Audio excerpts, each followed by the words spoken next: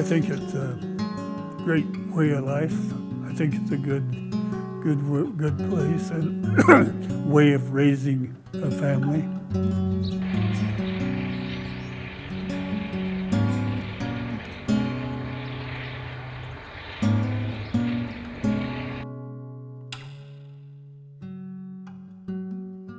I got a great relationship with Leroy, and it just, you know, he's been like a dad beside me the whole time. A lot of times, just seeing how I'm doing, checking on me. Like I said, we need to keep the family farms going. It's just, uh, you know, it's good for our heritage and that stuff, just to keep in the family, and the value of the family farm is very important.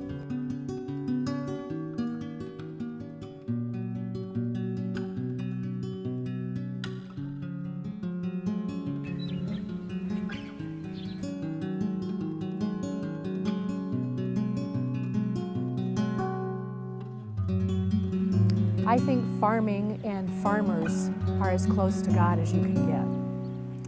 When you work the soil and you're a part of seeing a crop from the seed to harvest and you know that you're feeding America, it just doesn't get any better than that.